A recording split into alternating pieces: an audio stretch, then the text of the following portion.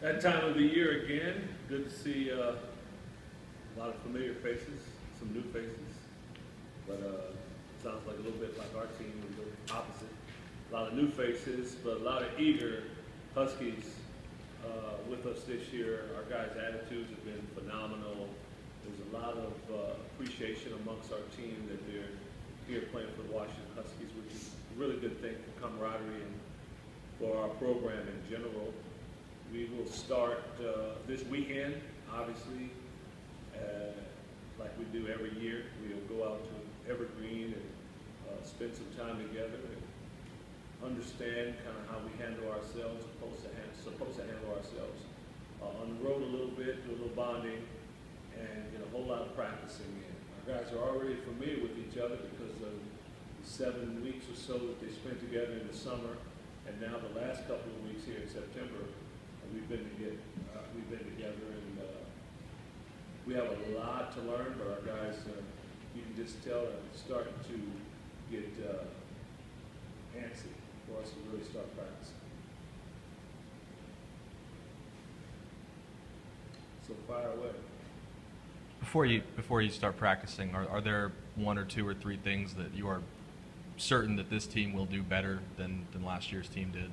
I think we have the ability to pressure the basketball more than, than we have in the last two, three years. I think we'll do a better job of that. I think we have a group collectively that's better at making plays, uh, making plays for themselves and making plays for others. And I think we'll be a more athletic team, that's for sure. Do you anticipate picking up the tempo at all this season? Yeah, because of the athleticism, because we have more athleticism, and because we will be able to pressure a little more, we have more guys that can make plays, that will allow us to do what we've done for the majority of our time here at the University of Washington, and that is play up tempo. It seems like we haven't done it in a couple years, it's like we've never done it before. That's how we play, up tempo. We just haven't been able to do it in the last couple of years. Have you decided on an offense and defensive set yet? Uh, it's the same as last thirteen years, same thing. We run our motion, we, we sprinkle it in a little with the high post and, uh, I, said the last thirteen, the last couple of years, we haven't been able to pressure, as I've already said a couple of times. We haven't been able to pressure, we'll go back to doing that. Our same old attack type style. Uh, Depending on the personnel, we will use more motion or, or more high post go back to 2009, 2010, we ran high post quite a bit. And 2013 and 14, we ran it, uh, even more than last year. We ran more motion, but, uh, but uh, ran high post as well. So we'll do pretty much the same that we've been doing for the majority of the time that we've been here. What's been the biggest adjustment over your thirteen years here? When you have young teams, what has been the toughest thing for them to acclimate to, in the- especially basketball? Uh, in the past, when we've had young teams, learning how to pull games out at the end, learning what it takes. There were many times when we, we played well enough to win the game, but then when it came down to it, we weren't quite able to close the deal. We Just weren't quite sure how to do that, uh, weren't quite sure how to do that on the road at times. So that's something that we'll spend quite a bit of time on in the preseason, trying to put our guys in those situations as best we can so that uh, they're comfortable when we are in, in those positions again, which we will be. How much of a challenge do you think it'll be to get these guys to play the, the kind of defense and dedicate the effort to defense that you want and get them in the right spots, considering how, how young everyone is? The effort will be there with our guys. That won't be the issue. Uh, Learning how to be in sync, working in unison together, uh, like everyone's on a string. That may take a little time uh, to get it done, but believe hopefully earlier than later it happens because we have a very challenging schedule right off the bat. But uh, I, I think we will pick it up.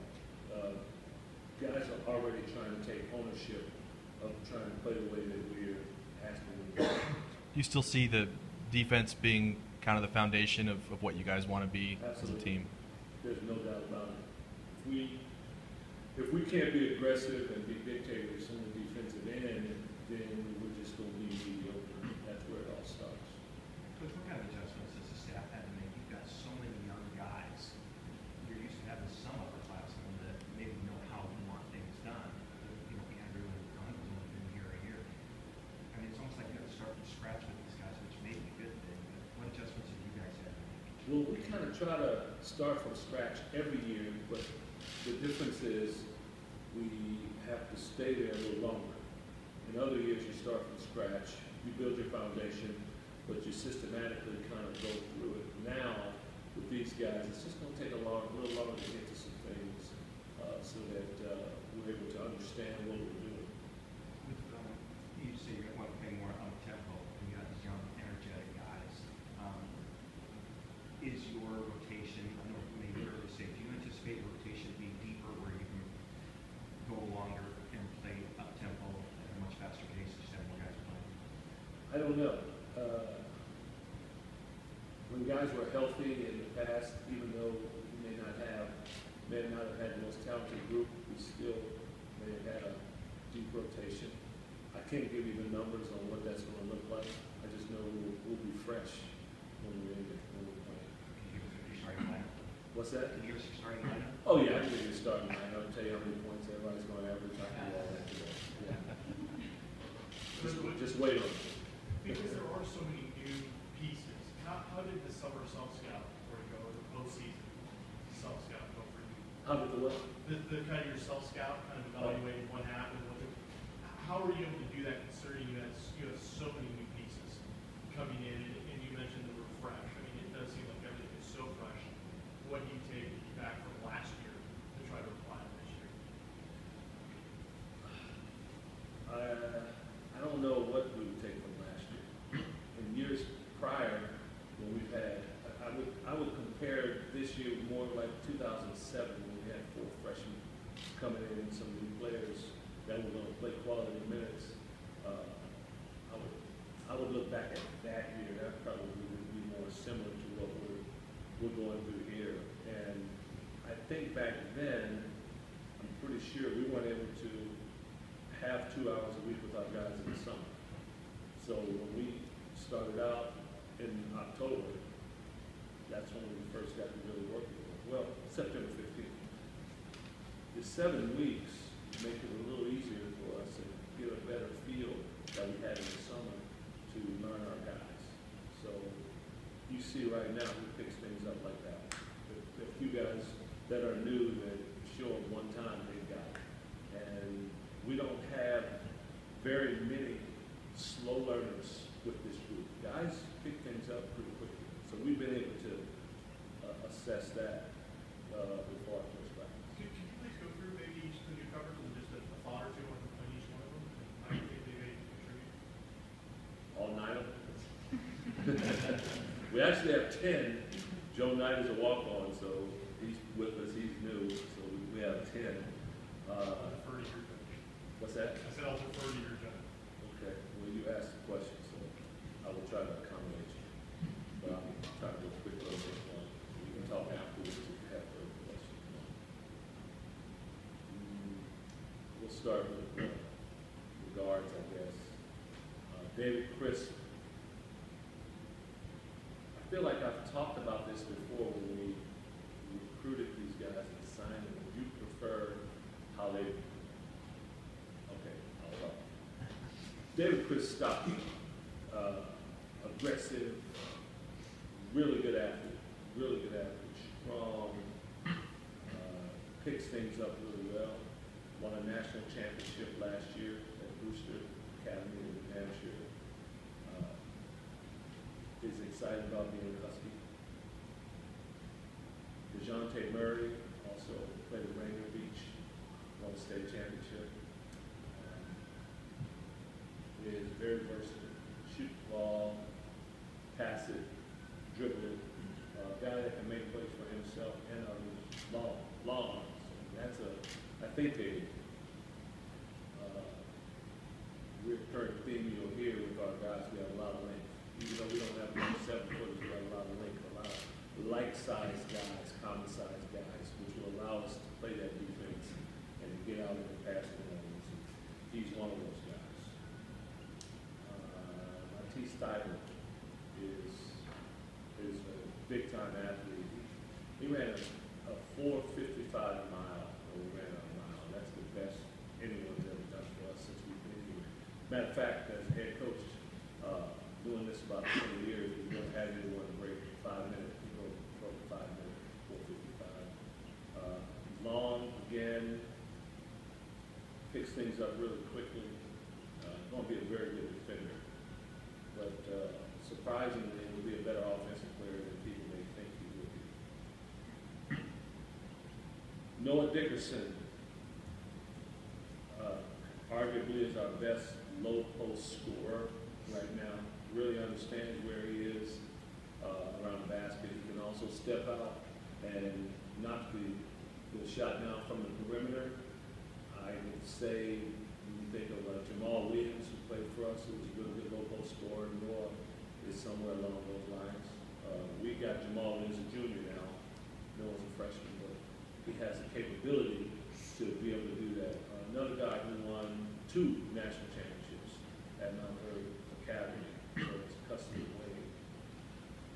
Marquese Chriss, uh, outstanding leaper, has an immense upside, has a lot of talent.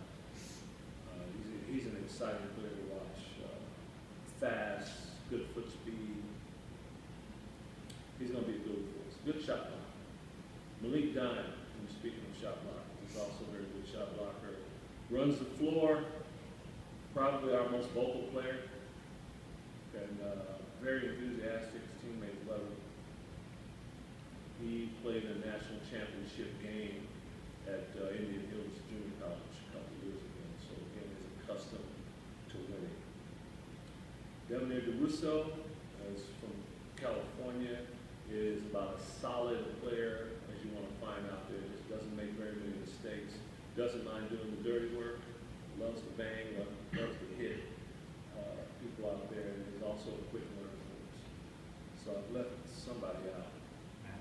Matthew, Dominic Green, Dominic Green, uh, can really score the ball. He's, he's fun to watch with the ball in his he's one of those guys that, that for a lot of players, it may be a bad shot, but for him, it's not. Because he knows exactly where he is on the floor, he knows how to get to his shot, he knows how to get the spacing on the floor where he knows he's very efficient. So he can shoot the three, he can drive the ball, really good offensive player. Uh, another guy with the length, all these guys have, have great.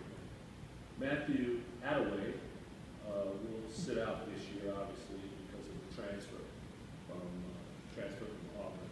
But, uh, very strong, uh, very fast. Uh, But we won't be able to have his services. And Joe Knight is, uh, our newest addition, who is a walk-on for us. He's about six foot seven, six foot eight, and, uh, works really hard. You have an idea of, of how you want to use DeJounte just yet? I mean, can he play point guard? Is he more of a two guard? Uh, that's the beauty of DeJounte.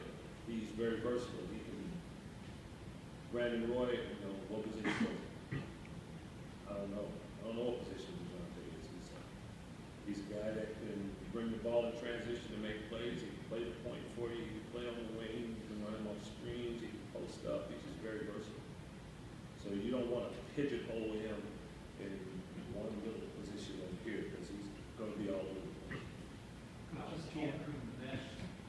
This new group. Oh, yeah. Like twenty years old for that. Yeah, he's, he's messed with. You know, they know Andrew has, has far more experience than everybody else, than any of them, so they ask him a lot of questions. And he's very accommodating in in answering those questions, so. They're all meshing together fine. Coach, you told me earlier one of the most important things is reestablishing culture here. Tony, can you talk a little bit about that with the impact that Will Conroy has on establishing that culture as well as having some Seattle guys? Well, there's,